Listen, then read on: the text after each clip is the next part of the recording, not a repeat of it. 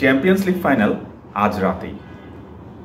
Real Madrid এবং Liverpool দুই হাজার আঠারো সালেও একে অন্যের মুখোমুখি হয়েছিল। সেই ম্যাচে রিয়াল মাদ্রিদ লিভারপুলকে হারিয়ে সর্বশেষ চ্যাম্পিয়ন্স লিগ জিতেছিল। এরপর অবশ্য লিভারপুল একটি চ্যাম্পিয়ন্স লিগ জেতে দুই দল আজকে আবার মুখোমুখি। তার আগে ভেসে বেড়াচ্ছে বেশ কিছু প্রশ্ন। চলুন সেগুলোর উত্তর জেনে নেওয়া যাক। আজকের ফাইনালের আগে সবচেয়ে যে কথাটি ভেসে বেড়াচ্ছে সেটি হচ্ছে প্রতিশোধ। বারবার বলা হচ্ছে রিয়াল মাদ্রিদকে হারানোর প্রতিশোধটি লিভারপুল এবার নিতে চায়। মো সালা সে কথাটি কয়েকদিন আগে বলেছেন এবং রিয়াল মাদ্রিদের পক্ষ থেকেও কিন্তু বেশ তেতে ওঠা জবাব দেওয়া হচ্ছে। কোর্তোয়া সংবাদ সম্মেলনে বলেছেন, রিয়াল মাদ্রিদ ফাইনালে ওঠা মানেই তাদের লিগ জেতা।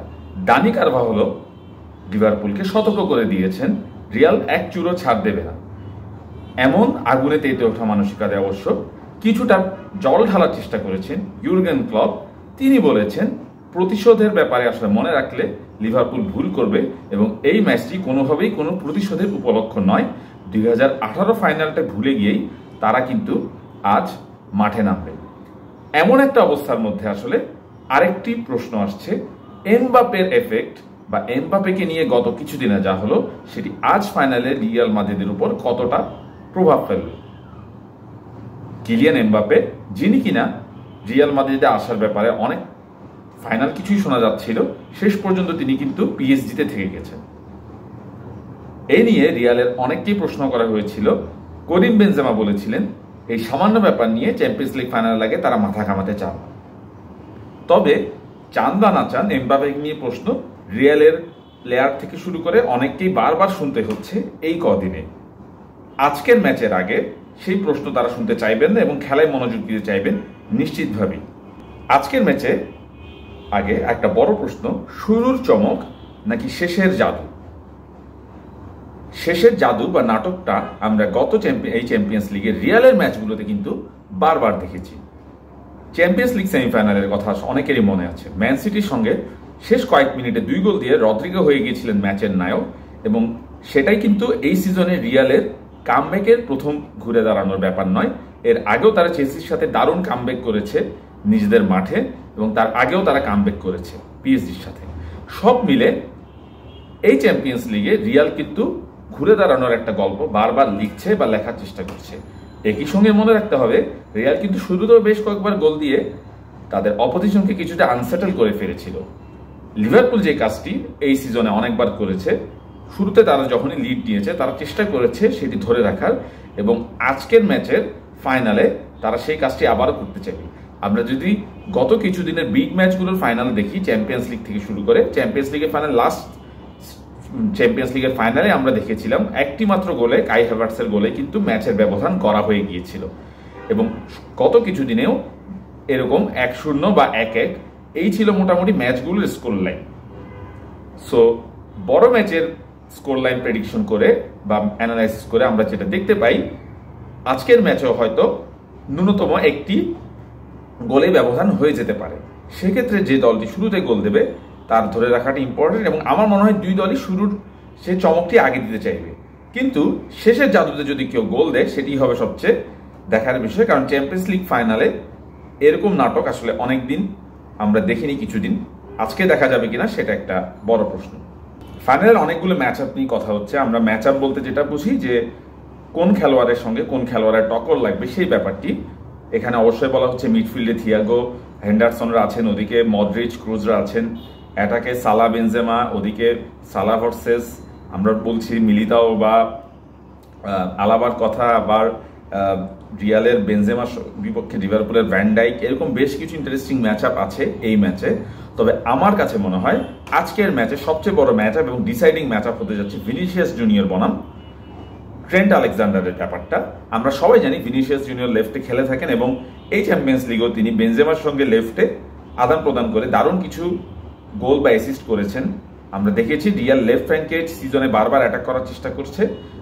ট্রেন্ট আলেকজান্ডার আরন আমরা সবাই জানি, তিনি এই সময় ওয়ান অফ দ্য বেস্ট ফুলব্যাকদের একজন, কিন্তু তিনি যতটা না ডিফেন্সিভ ফুলব্যাক তার চেয়ে অনেক বেশি অ্যাটাকিং ফুলব্যাক এই প্রিমিয়ার লিগের এই সিজনেও তার অনেকগুলো অ্যাসিস্ট ছিল।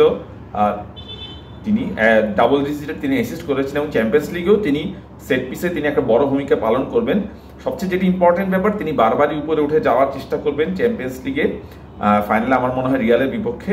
সেক্ষেত্রে ভিনিসিয়াস এবং বেনজেমা তার স্পেসটা তাদের ডান সাইডে উঠে গেলে সেই স্পেসটা রিয়ালের বাম সাইডে সেই স্পেসটা কতটা কাজে লাগাতে পারবেন, সেটার উপর আমার মনে হয় ম্যাচের ভাগ্য অনেকটা নির্ভর করছে এবং একই সঙ্গে এই ব্যাপারটি বলে রাখা যায় রিয়ালের যে আরেকজন ভালভার্ডে তিনি কিন্তু ডান সাইডে খেলে থাকবেন, কিন্তু তিনি মূলত ইনভার্টেড উইঙ্গার হিসেবে হয়তো খেলতে পারেন কিছুটা নিচে নেমে। সো সেই ক্ষেত্রে ভিনিসিয়াসের উপরে ওঠার যে ব্যাপারটা, সেটা হয়তো কিছুটা বেশি থাকবে। সো এইখানে ট্রেন্টের সঙ্গে তার যে ডুয়েলটা সেটা আমার মনে হয় আজকের ম্যাচে ডিসাইডিং ফ্যাক্টর হতে পারে। সেট পিস এই ব্যাপারটি নিয়ে আজকের ম্যাচে অনেক বেশি কথা হচ্ছে। এই চ্যাম্পিয়ন্স লিগে যারা লিভারপুলের খেলা নিয়মিত দেখেছেন, তারা খেয়াল করেছেন লিভারপুল কিন্তু আটটি সেট পিস থেকে এর মধ্যে গোল করেছে এবং এর মধ্যে অনেকগুলি কর্নার কিক থেকে, যেটা চ্যাম্পিয়ন্স লিগে কোনো দলের সবচেয়ে বেশি। লিভারপুল এই চ্যাম্পিয়ন্স লিগে তাদের সেট পিসে দারুণ কিছু প্লেয়ার আছে। আমরা দেখেছি ইব্রাহিম কোনাতে তিনি সেট পিসে গোল করেছেন। ভ্যান্ডাইক দুর্দান্ত হেডে তাদের যে অ্যাটাকাররা আছেন, তারাও হেডে বেশ ভালো। ডিয়াগো জোটা আরেকজন, তিনি যদি খেলার সুযোগ পান, তিনি, আমরা জানি, সবাই তিনি ইয়ারে ওয়ান অফ দ্য বেস্ট প্লেয়ারদের একজন লিভারপুলের সো লিভারপুল চেষ্টা করবে সেট পিসে ভালো কিছু করার, কিন্তু রিয়াল মাদ্রিদের সঙ্গে কাজটি সহজ হবে না। মোটেই সেটা পরিসংখ্যান বলছে, কারণ রিয়াল মাদ্রিদ এই চ্যাম্পিয়ন্স লিগের সেট পিস থেকে মাত্র একটি গোল হজম করেছে। তাদের যে দুজন ডিফেন্ডার ডিয়াগো মিলিতাও এবং আলাবা বা অন্য কেউ যদি খেলেন সেন্টার ব্যাকে আমার মনে হয় তারা সেই কাজটি বারবার করতে চাইবেন যে সেট পিসে যাতে লিভারপুল কোনো গোল না পায় এবং রিয়ালের যে সেট যারা অ্যাটাকার কারিম বেনজেমা বা আমরা দেখেছি রদ্রিগো সেট পিসে দুটি গোল করেছেন হেড করে সেমিফাইনালে তারাও কিন্তু বেনজামারাও কিন্তু সেট পিসে যখন ডিফেন্সের কাছে তাদেরকেও করতে হবে সো সেক্ষেত্রে রিয়াল বাড়তি সাবধান হতে চাইবে লিভারপুলের বিপক্ষে বিশেষ করে। আমার কাছে মনে হয় সেট পিস লিভারপুল অবশ্যই টার্গেট করবে, কিন্তু রিয়ালের বিপক্ষে সেটি খুব কঠিন হবে, খুব খুব কঠিন হবে। রিয়ালের বিপক্ষে সেট পিসে কোনো গোল আদায় করে না। ফরমেশন ফরমেশন নিয়ে বেশ কথা হচ্ছে। ইউগেন ক্লাব একটি ব্যাপারে স্পষ্ট করে দিয়েছেন, তারা খুব বেশি এক্সপেরিমেন্টের মধ্যে যদি যাবেন না, কারণ তিনি বলেছেন, এমন কিছু করতে চান না, তাতে তাদের দলের ছন্দটা খুব বেশি নষ্ট হয়। তিনি মনে করছেন, নিজেদের স্বাভাবিক খেলাটা খেলতে পারলে লিভারপুলের জন্য যথেষ্ট চাপ সৃষ্টি করা হবে। সো সেক্ষেত্রে আসলে বলা যায় লিভারপুল তাদের traditional four three three formation থেকে সরার সম্ভাবনা ক্ষীণই বলা যায়। সো সেক্ষেত্রে আমরা জানি যে আমরা লিভারপুলে যারা সবসময় সামনে তিনজন খেলেন সালা মানে তাদের মধ্যে হয়তো ফিরমিওকে না দেখে অন্য লুইস ডিয়াস বা অন্য কাউকে আমরা দেখতে পারি। প্লাস মিডফিল্ডে তো আছেনই। থিয়াগো ফিট হলে তিনি হয়তো খেলবেন। সো চার তিন তিন ফরমেশনে লিভারপুলকে দেখতে পাওয়ার কথা আমার মনে হয় এক্ষেত্রে খুব একটা ব্যতিক্রম হবে না। রিয়ালের ফরমেশনটাও আসলে কাছাকাছি, দুই দলই কিন্তু চার তিন তিন ফরমেশনে আসলে খেলার কথা।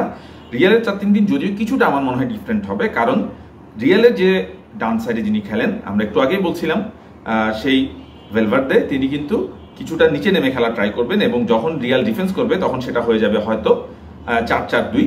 সো আমার মনে হয় ভালভার্ডে যতটা না উইঙ্গার, তার চেয়ে অনেক বেশি আসলে তিনি মাঝে নেমে খেলার চেষ্টা করেন। সেক্ষেত্রে তিনি কিন্তু ভিনিসিয়াসদের মতো পিওর উইংয়ে হয়তো খেলবেন না। সো তার ম্যাচ আপটি কীভাবে হবে রবার্টসনের সঙ্গে, সেটা একটা ইন্টারেস্টিং জিনিস হবে। সো ফরমেশন দুই দলের অলমোস্ট একই। আমার মনে হয় দুই টিমের কেউই আজকে খুব বেশি ইন্টারেস্টিং কোনো স্টেপ নেবে না। যদি না যদি না কেউ কোল খায়, সেক্ষেত্রে হয়তো আমরা কোনো ইন্টারেস্টিং ব্যাপার দেখতে পাবো। দুই দলের সাবে যথেষ্ট ভালো কিছু প্লেয়ার আছে। তো সেক্ষেত্রে একটা মজার জিনিস হতে পারে বাট আমার মনে হয় ফরমেশন অনুযায়ী দুই দল অনেকটা ম্যাচ আপ যেটাকে বলে একই রকমের ব্যাপারই হবে।